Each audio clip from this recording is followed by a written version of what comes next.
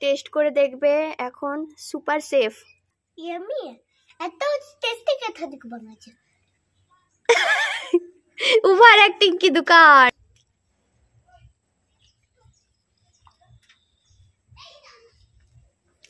Seriously অনেকটা tasty welcome back to my channel Desi Susmita Hembram. তোমরা সবাই কেমন আছো? আশা করছি সবাই খুব ভালো আছো, আমিও খুব ভালোই আছি।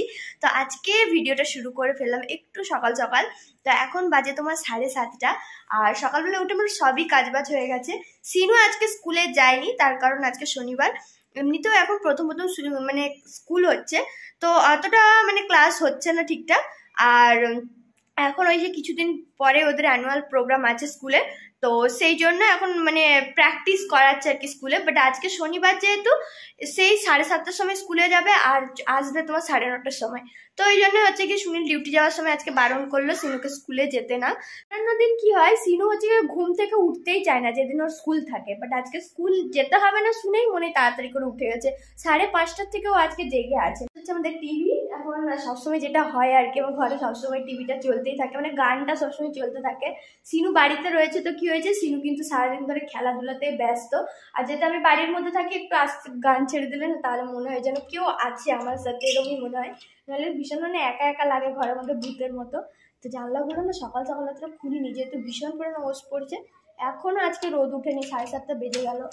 আর আমি এখন চলে এসেছি কিচেনে তার কারণে এবার রান্না বান্নাও করতে হবে। এমনি সকাল সকালই রান্না করি রোজই। তো আজকে ভাবলাম যে চলো একটুখানি দেরি করে মানে ভাতটা দেরি করে বসাবো। তার কারণ কালকে রাত্রে ভাত, ডাল করেছিলাম। তো ভাত আর ডাল দুটোই রয়েছে। আমি ভাবছি যে ওইটাই আজকে সকালবেলায় খাব। ভাত কম করে আছে।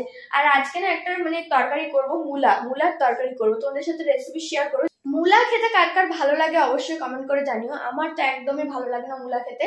তাই আমি রেসিপি সার্চ করছিলাম যে দেখি মানে নতুন ধরনের যদি কিছু মানে ইউনিক টাইপের করে যদি মূলার স্বাদ যদি বদলানো যায়, তারপর একটু ভালো লাগে না।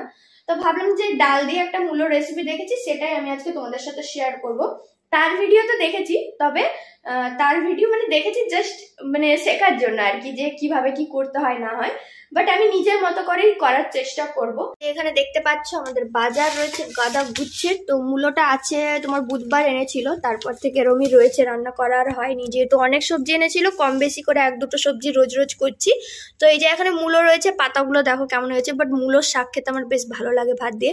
কিন্তু শাকটা তো হলুদ হয়ে গেছে, এটা আর খাওয়া যাবে না। এটা এখন ছাগলের পেটে যাবে। একটুখানি ডালি একটু ভিজাবো, তার কারণ বেশি করব না, যদি খারাপ হয় তাহলে আমিই খাব, আর যদি ভালো হয় তাহলে সবাই খাবে। তো ফার্স্ট টাইম যেহেতু করছি না, আমি যখনই ফার্স্ট টাইম কিছু করি না কেন, কম করে করি। তার কারণ যদি খারাপ হয় আমি খেলে ঠিক আছে, কিন্তু কাউকে দিলে একটু কেমন লাগবে না? যদি খারাপ হয় জিনিসটা তো চলো জলদি জলদি এখন ডালটা ভিজিয়ে নিই আর সবজি টবজিগুলো আগে কাটিং করে নিই তারপর তোমাদের সাথে দেখা গেছে এখন আমার সব সবজি কাটা। তো যে রেসিপিটা তোমাদের বললাম আজকে দেখাবো সেটার আগে আমি আজকে আগে এখানে বেগুনগুলো কেটে রেখেছি আর কুঁদরি। তো সিনু বেগুন ভাজা কুঁদরি ভাজা মানে ভাজা ভাজি জিনিসগুলো একটু বেশি পছন্দ করে।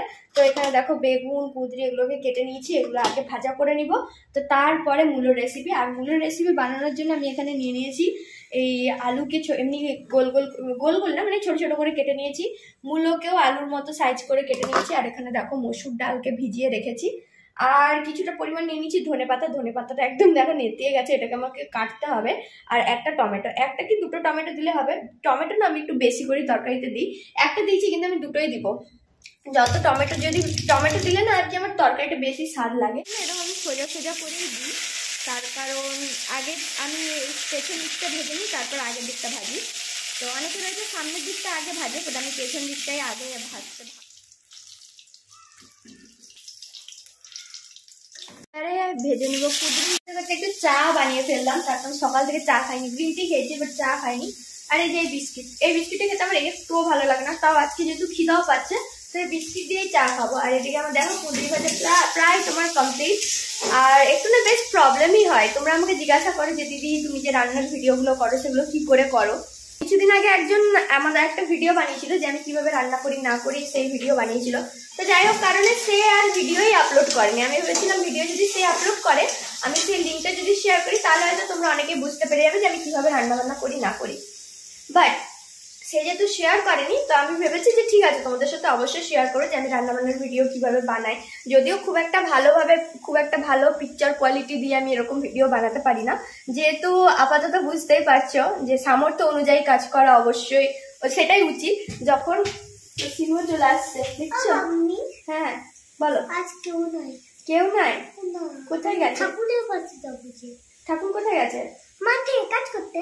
কাজ করতে মাঠে? হ্যাঁ এখন কি কাজ হচ্ছে মাঠে? বড় পিসি কই? আচ্ছা দেখো এখন কলা খেতে খেতে চলে যাবে নাকি তার ঠাকুরের কাছে মানে তার ঠাকুমার মানে মায়ের কাছে যাবে। তো তার কারণ মা নাকি মাঠে গেছে এখন মাটি বইছে তো ওই জন্য ও যাচ্ছে। আর পাগলি দিও নাকি গেছে মাঠে ওই জন্য ও যাচ্ছে। তো এখানে দেখো আমি যেটা বলছিলাম আর কি যে পিকচার কোয়ালিটি এখন দেখো সামর্থ্য অনুযায়ী করা উচিত। যখন আমার সেই রকম সামর্থ্য হবে, অবশ্যই তখন ভালো ক্যামেরা কিনে বা ভালো ফোন কিনে তখন ভিডিও বানানোর প্ল্যানিং না হয় পরে হবে। বাট এখন যতটুকু সামর্থ্য, সেই সামর্থ্য অনুযায়ী আমার মনে হয় কাজ করা উচিত। আর তাতেই মানুষ বুঝবে। তো হয়ে গেছে এখন আমার চা। চাটাকে ঢেলে নিচ্ছি। চা একদম আমার স্বর্গ। এটা ছাড়া আমার মানে দিন চলবেই না একেবারে।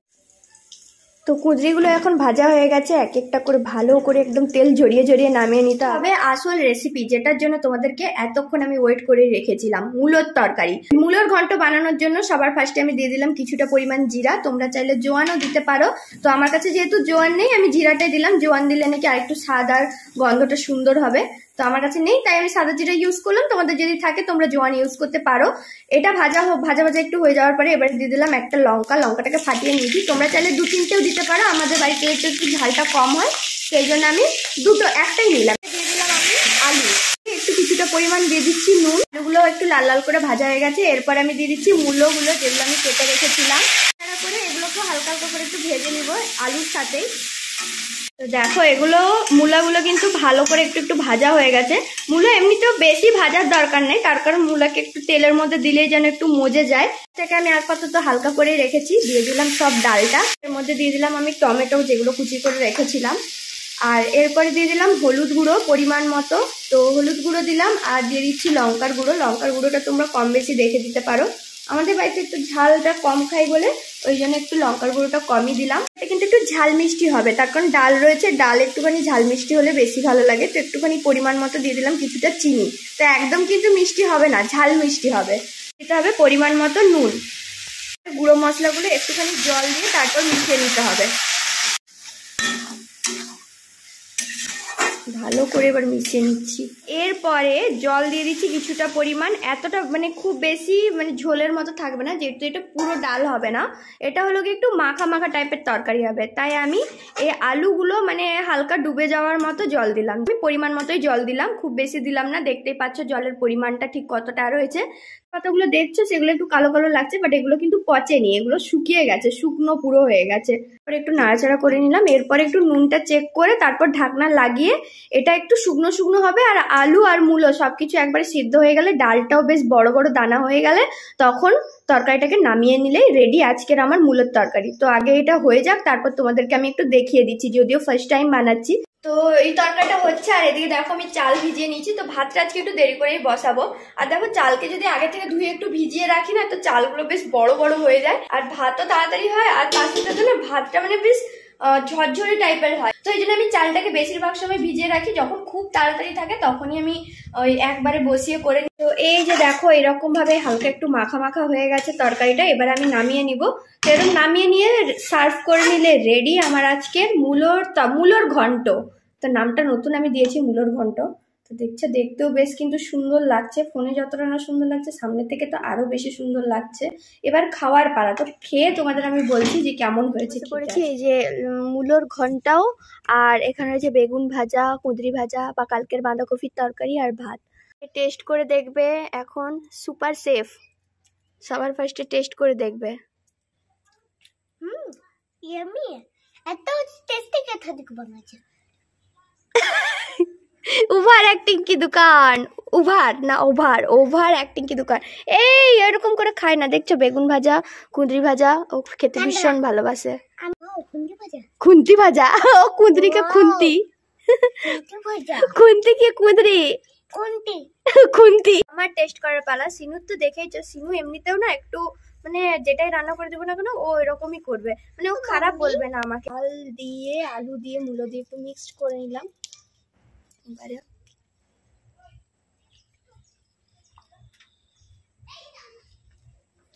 সিরিয়াসলি অনেকটা টেস্টি হয়েছে।